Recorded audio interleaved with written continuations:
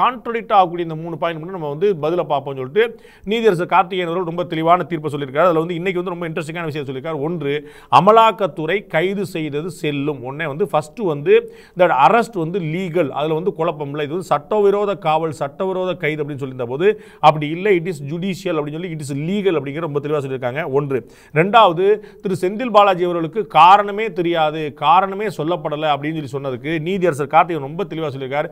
காலையில் ஏழு மணிலேருந்து சாயந்தரம் ராத்திரி பத்து மணிக்கு வரைக்கும் ஒன்றா தான் உட்காந்தாங்க அமலாக்கத்துறை அங்கே தான் இருந்துச்சு. அவருக்கு காரணம் தெரியும். நீதி நீதியரசர் திரு கார்த்திகேயன் சொன்னுடைய கூற்றின்படி அமைச்சர் குற்றஞ்சாட்டப்பட்ட கைது செய்யப்பட்டக்கூடிய அமைச்சர் திரு செந்தில் பாலாஜிக்கு காரணம் தெரியும். காரணம் தெரிவிக்க வேண்டியதில்லை. காரணம் தெரியாது என்று சொல்வதை ஏற்றுக்கொள்ள முடியாது அப்படின்னு ரொம்ப விரிவான ஒரு பாயிண்ட் சொல்லியிருக்காங்க. ஏன்னா ஹோல் டே தேவர் டுகெதர் அவங்க எல்லாமே ஒன்றா தான் இருந்தாங்க அப்படின்னு. ப்ளஸ் முதல்லயே சொல்ல வேண்டியதில்லை அப்படிங்கிறத வந்து ஏற்றிருக்காங்க ஏன்னா இது வந்து நமக்கு எல்லாரும் தெரிந்தவர் உச்சநீதிமன்ற ஒரு உத்தரவுக்கு பிறகு நடக்கக்கூடிய விசாரணை.